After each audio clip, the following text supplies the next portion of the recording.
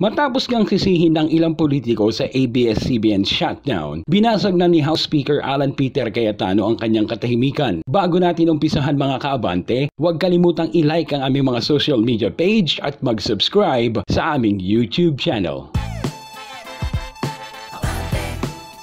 Nagsalita na nga si House Speaker Cayetano sa mga paratang sa kanya na sinasabing dahilan kung bakit hindi na-renew ang prangkisa ng ABS-CBN. Matatandaan matapos sa mga sisi nitong nagdaang mga araw, binanata ni dating Senador Antonio Trillanes IV si Cayetano at sinabing tiko mabibig nito gayong isa ito sa may kakayahang magsalita at mambola. Ngayong araw ay nagbigay na ng pahayag ang House Speaker. Paliwanag dito, sa pagkakaupo nito bilang Speaker ng House of Representatives, inilista na agad nito ang mga prioridad na dapat talakayin sa Kongreso kabilang na ang franchise renewal ng ABS-CBN. Anya pa, sa mga susunod na panahon na habang tinatalakay ang ibang prioridad, saka naman pumasok ang coronavirus disease o COVID-19.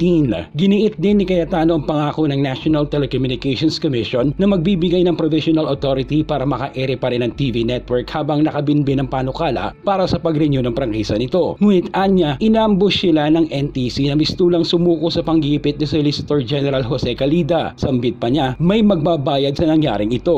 Hayag ni Cayetano, despite their assurance given under oath, despite the legal opinion of the Department of Justice, despite a resolution from the Senate, and several verbal and written assurances given to Congress, the NTC appears to have succumbed to pressure from the Solicitor General and issued a cease and desist order to ABS-CBN. As per the sudden flip-flopping of the NTC and the unconstitutional meddling by Solicitor General in the business of Congress, I promise you there will be a reckoning. Sinabi pa ng House Speaker na lilinisin ng Kongreso ang kalat na ginawa ng iba. Ang ABS-CBN naman ay naghain ng request sa Korte Suprema para sa TRO o Temporary Restraining Order na nananawagang tanggalin ang bisa ng cease and desist order ng NTC. Anong masasabi mo mga kabante? Na-pressure nga ba ang NTC kay Solicitor General Jose Calida? Mag-comment lang ng inyong opinion. I-like and i-share na rin ang video na ito at huwag kalimutang mag-subscribe sa aming YouTube channel.